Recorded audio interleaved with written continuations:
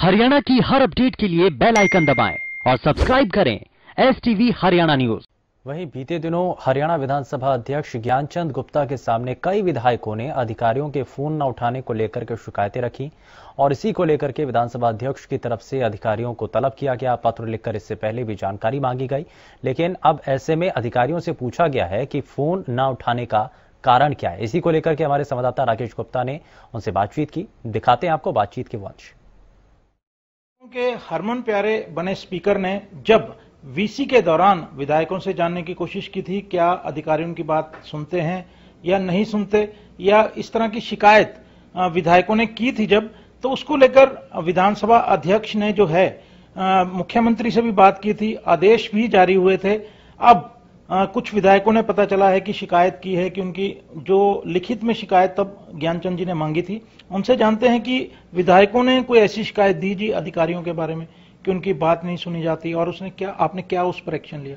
देखिए दो तीन हमारे विधायकों के पत्र आए हैं तो मैंने उनसे एक तो ये कहा है कि जो भी पत्र लिखे उसमें स्पेसिफिक टाइम डेट और जो जानकारी है वो कंप्लीट होनी चाहिए। दूसरा, जो अधिकारी इस प्रकार से जिनके बारे में लिख करके आया है, मैंने जो वहाँ के अधिकारी हैं, उनसे स्पष्टीकरण के लिए लिखा है कि क्या कारण है, उसके बारे में ज़रूर बताएँ। तो ये बताएँ कि अभी दो तीन विधायकों की ऐसी शिकायत आई है कि और लोगों की भी आ रही है कि फ़ोन पे ही आपसे संपर्क करा हो लिखित में ना लोग देना चाहते हो। नहीं अभी ऐसे कोई कंप्लेंट और कोई मेरे पास नहीं आई है। ज्ञान जी एक दूसरा जो मुद्दा है वो ये है कि जो विधानसभा का सेशन है क्योंकि कोरोना के साथ अब जो ज़िंदगी है साथ साथ चल रही है प्रिकॉशंस लेने पड़ रहे हैं। एक तो ये जो हमारा अभी बजट सत्र हुआ है और मानसून सत्र में। एक ये बताएँ कि कितने दिन का जो है नियम बनाना ज़रूरी होता है? कितने दिन के भीतर सत्र बुलाना ज़रूरी होता है? उससे पहले क्योंकि आपने एक दफे साक्षात्कार के दौरान कहा था कि कोरोना के चलते जो मानसून सत्र नहीं बुलाया जाएगा। अब स्थिति क्या है? ये मैंने कभी नहीं कहा कि नहीं बुलाया जाएगा। सरकार चाहेगी, जब मुख्यमंत्री जी चाहेंगे तो हम सत्र जो है, वो बुलाने के लिए तैयार हैं। उस समय बात हुई थी कि अगर विधानसभा के अंदर नहीं हो सकता तो बाहर के लिए ऑप्शंस जो हैं, वो भी देखे जा सकते हैं। लेकिन अभी हमने जो असेसमेंट की है, जिस प्रकार से चर्चा की है, उससे लगता है कि हम अपनी इस विधानसभा के अंदर ही सोशल डिस्टेंसिंग को मेंटेन करते हुए किसी भी समय जो सत्र है, वो बुला सकते हैं। हमारा पिछले सत्र जो जब समापन हुआ है और मानसून के नए सत्र के दौरान छह माह की अवधि की ज़रूरत होती है तो वो अवधि कब बैठती है?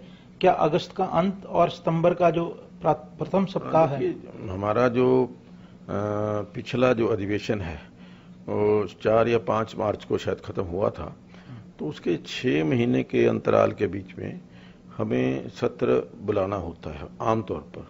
अगर कोई विशेष परिस्थिति आती है और सरकार की कोई ऐसी आदेश आता है तो हम उसके मुताबिक, जब सरकार चाहेगी हम सत्र बुलाने के लिए तैयार हैं।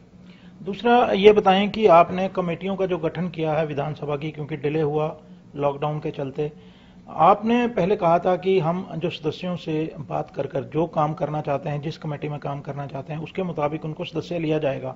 अब कमेटियों का गठन हो गया है। अ, क्या जो इनके चेयरमैन बनाए गए हैं इनकी कोई बैठक बुलाई है आपने कार्यशैली के लिए? हाँ देखिए आगे पूरे साल के अंदर कमेटियों की जो वर्किंग है वो ठीक रहे। कमेटियाँ जिस उद्देश्य के लिए बनाई गई हैं, वो उद्देश्य पूरा हो।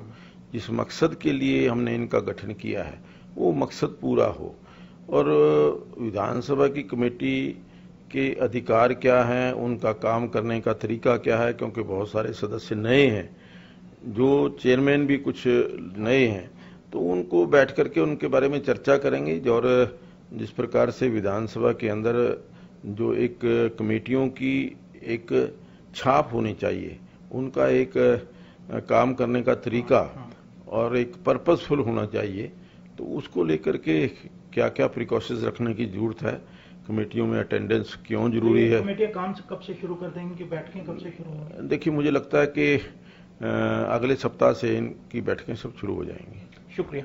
तो ये हैं ज्ञानचंद गुप्ता जो बता रहे थे कि जिस तरह से अब जो एक्शन मोड में वे आए हैं, उन्होंने अधिकारियों से, क्योंकि एमएलएस ने लिखित में शिकायत दी है, और उन्होंने अधिकारियों से जवाब तलबी भी की है।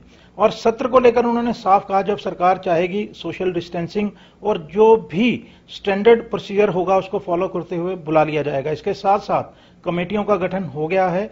अगले सप्ताह से अपनी कार्रवाई शुरू कर देंगी। हरियाणा न्यूज़ के लिए चंडीगढ़ से कैमरामैन संजय सिंह के साथ राकेश गुप्ता।